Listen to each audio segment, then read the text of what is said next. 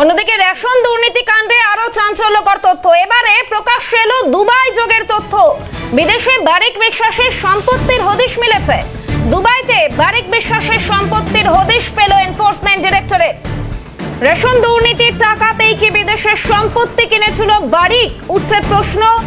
তল্লাশি অভিযানে ইতিমধ্যে উদ্ধার করা হয়েছে মোট পঁয়তাল্লিশ লক্ষ টাকা। বারিক বিশ্বাসের বাড়ি থেকে উদ্ধার করা হয়েছে নগদ কুড়ি লক্ষ টাকা। আলিফ নূরের বাড়ি থেকে উদ্ধার করা হয়েছে এগারো লক্ষ টাকা। আলিফ নূরের রাইস মিল থেকে ইতিমধ্যেই মিলেছে চোদ্দ লক্ষ টাকা। বাজেয়াপ্ত করা হয়েছে মোট ষোলোটি মোবাইল সহ একাধিক নথি, হার্ড ডিস্ক। এবারে দুবাই যোগ। দুবাইতে বারিক বিশ্বাসের সম্পত্তির হদিশ পেল ইডি এবং রেশন দুর্নীতি কাণ্ডে আরও চাঞ্চল্যকর তথ্য। বিদেশে বারিক বিশ্বাসের সম্পত্তির হদিশ সরাসরি সঙ্গে রয়েছেন আমাদের প্রতিনিধি শুভজিৎ। শুভজিৎ, যেই ছবি উঠে আসছে, একটার পর একটা বারিকের বারবারন্ত আমরা দেখেই যাচ্ছি এবং ক্রমাগত এবার জানা গেল দুবাই যোগ। সেখানে সম্পত্তির হদিশ মিলেছে। ঠিক কি কি তথ্য রয়েছে, শুভজিৎ?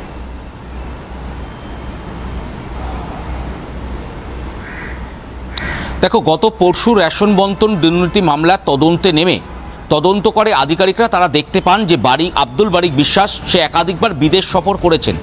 আর এই তথ্য তালাশ করতে গিয়ে শুধু আব্দুল বারিক বিশ্বাসের বাড়ি নয়, তার একটি অফিসেও তদন্তকারী আধিকারিকরা তারা তল্লাশি অভিযান চালান এবং সেই অফিস থেকে যে তথ্য বা নথি উদ্ধার হয়, সেখান থেকে কার্যত চক্ষু চড়ক গাছ এই মুহূর্তে তদন্তকারী আধিকারিকদের। তার কারণ, এই আব্দুল বারিক বিশ্বাস তৎকালীন খাদ্যমন্ত্রী বা এই মুহূর্তের প্রাক্তন খাদ্যমন্ত্রী জ্যোতিপ্রিয় মল্লিক, যার ঘনিষ্ঠ ব্যবসায়ী বলে পরিচিত, তার দুবাইতে সম্পত্তি রয়েছে এবং সেই সম্পত্তির বেশ কিছু নথি, তথ্য সেইগুলো কিন্তু এই মুহূর্তে তদন্তকারী আধিকারিকদের হাতে রয়েছে।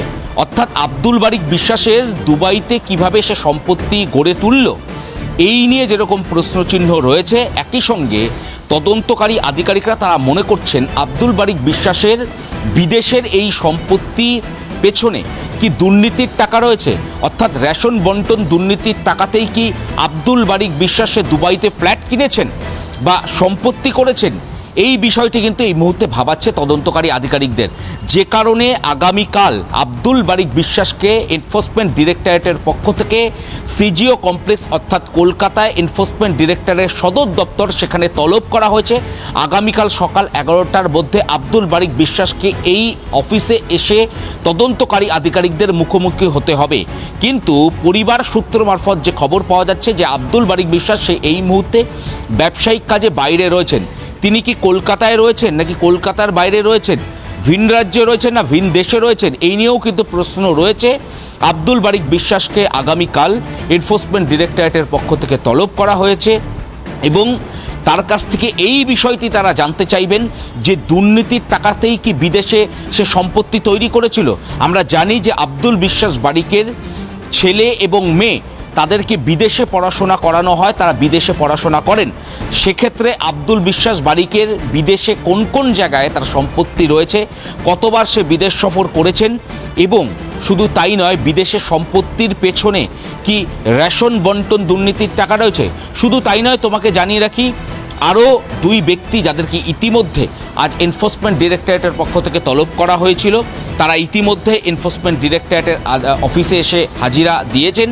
ইতিমধ্যে তাদের প্রশ্নর যে পর্ব, সেই পর্ব চলছে এবং এই এরই মাঝে এরই মাঝে এনফোর্সমেন্ট ডিরেক্টর সূত্রে খবর যে প্রায় পঁয়তাল্লিশ লক্ষ টাকারও বেশি এনফোর্সমেন্ট ডিরেক্টরেটের পক্ষ থেকে নগদে উদ্ধার করা হয়েছে। একদিকে যেরকম পঁয়তাল্লিশ লক্ষ টাকা তারা নগদে উদ্ধার করেছেন, ষোলোটি মোবাইল ফোন সহ একাধিক হার্ড ডিস্ক খাদ্য দপ্তরের একাধিক সিল বন্ধ করা নথি তারা উদ্ধার করেছেন। এই মুহূর্তে তোমাকে জানিয়ে রাখি যে এই সার্চ অপারেশনে একাধিক একাধিক নথি তারা পেয়েছেন এবং এরই মাঝে আলিফ নূর যাকে ইডির দপ্তরে ইতিমধ্যে ডাকা হয়েছিল, সে আলিফ নূর এসে হাজির হয়েছেন। আলিফ নূরের বাড়ি এবং তার তার যে মিল রয়েছে চাল মিল রয়েছে, সেখান থেকে নগদ এগারো লক্ষ এবং নগদ তেরো লক্ষ টাকা উদ্ধার করা হয়। এই নগদ টাকা একেবারে শুভজিৎ তুমি সঙ্গে থাকো। এই মুহূর্তে বিজেপি নেতা সজল ঘোষ রয়েছেন টেলিফোন লাইনে। আপনাকে স্বাগত সিএনএ এবার বারিক বিশ্বাসের দুবাই যোগ। দুবাইতে বারিক বিশ্বাসের সম্পত্তির হদিশ মিলেছে। কি বলবেন?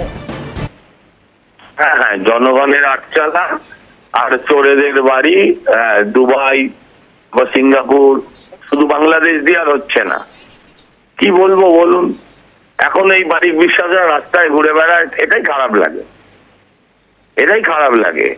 এদের জনগণের আদালতে আগামী দিন তা বিচার হবে। আগামী দিন তা নাহলে এই লোকগুলোর বিচার জনগণের আদালতে হবে। আইনের প্রতি আস্থা হারিয়ে যাবে যদি এই লোকগুলো ইমিডিয়েট গ্রেপ্তার হয়ে জেলে না ঢোকে।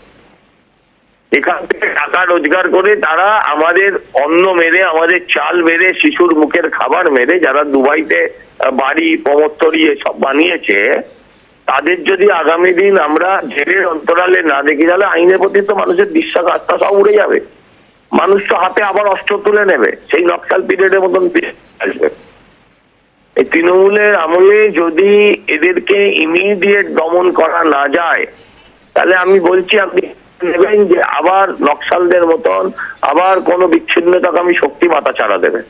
বেশ, ধন্যবাদ সজল বাবু কথা বলছিলাম বিজেপি নেতা সজল ঘোষের সঙ্গে। সঙ্গে ছিলেন প্রতিনিধি শুভজিৎ দে। শুভজিৎকে আপাতত ধন্যবাদ। অন্যদিকে এ বিষয়ে কুনাল ঘোষ, তিনি কি বলেছেন? শোনাবো। এটা তদন্তের ব্যাপার। যদি কোথাও কোনো ভুল থাকে, তাহলে কনসার্ন ব্যক্তি যার বিরুদ্ধে তদন্ত হচ্ছে, তিনি বা তার আইনজীবীরা তাদের যা বলার আছে সেগুলো বলবেন। যদি কোনো ভুল না থাকে, তারা ব্যাখ্যা দেবেন। ভুল থাকলে তারা ব্যাখ্যা দেবেন। এর সঙ্গে আমাদের কোনো বক্তব্য নেই। আমরা শুধু আশা করব যে কেন্দ্রীয় এজেন্সি, তারা যেন নিরপেক্ষভাবে তদন্ত করে। বিজেপির নির্দেশে এমন কোনো অভিমুখ নিয়ে তদন্ত না করে, যাতে তৃণমূলের প্রতি একটা নেতিবাচক বার্তা ছড়াবার উদ্দেশ্য প্রণোদিত চেষ্টা হয়। এর বাইরে তদন্ত তদন্তর মতো হবে, সে বিষয়ে কোনো কথা বলব না।